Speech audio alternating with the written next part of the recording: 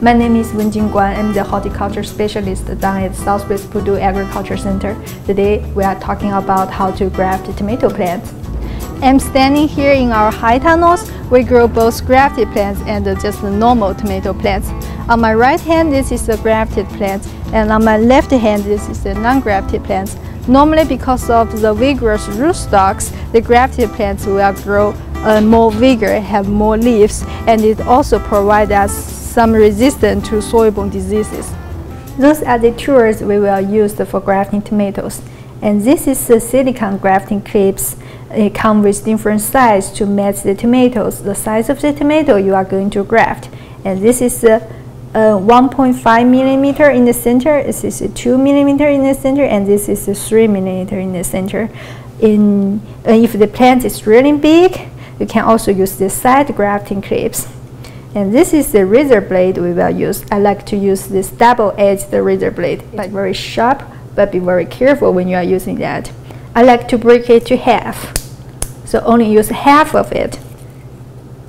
So that can prevent to cut your finger. This is my rootstock. This is a scion. Um, I like to graft them at the size they have about two leaves. And now we need to decide which grafting clip we use. Now I'm picking a 2.0 grafting clip. I put them on the stem of the plant and it fits nicely. That is the um, suitable size for those uh, tomatoes.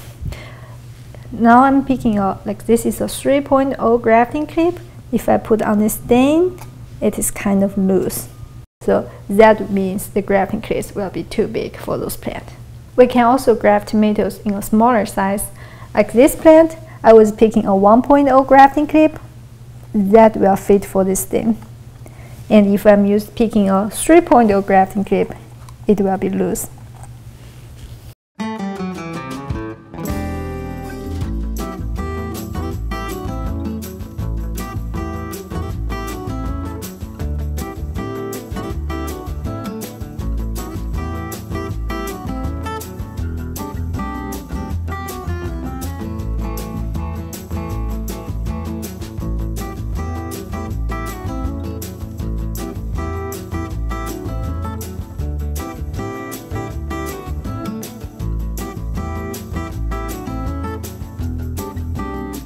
This is the rootstock.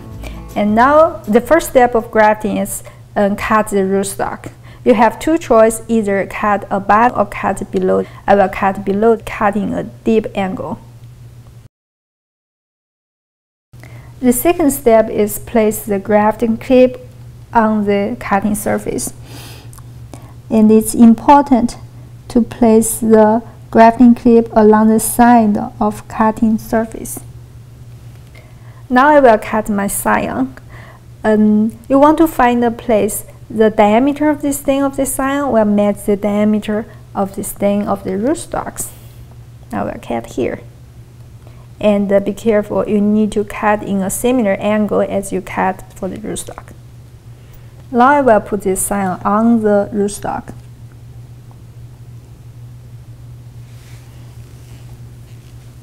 After insert the scion into the grafting clip, take a look at to making sure the rootstock and the scion, on the cutting surface, match each other.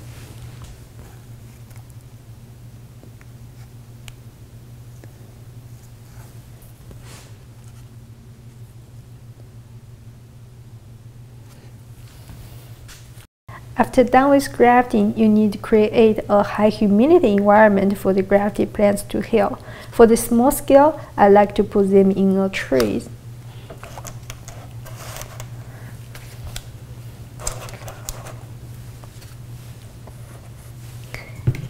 and gently spray water on the plants. Then cover the whole tray with a plastic dome. I like use the humidity domes have the openings on the side and the top. So by opening those, you can adjust the humidity inside of the domes. Okay.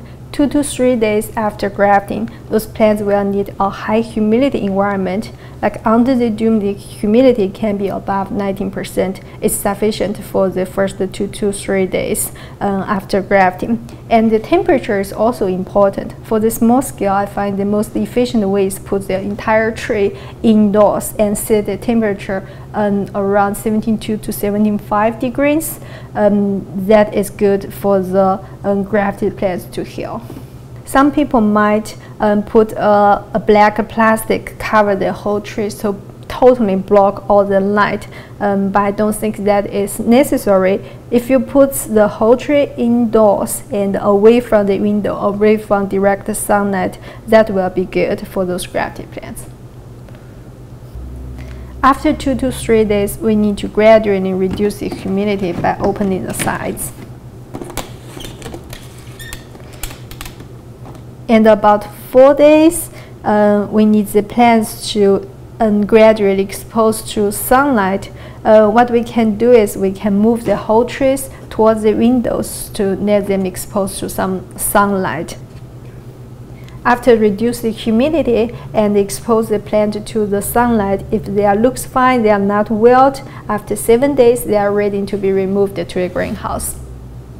When moving the tree to the greenhouse, it's better to do it either in the early morning or in the later afternoon, or towards the middle of the day, the strongest the light. Um, and if you do see plants get wilt in the greenhouse, give them a little bit shade, and the next day they should recover.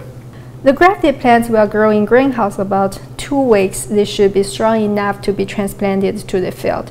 Don't remove these grafting clips they will drop itself when the stems grow bigger.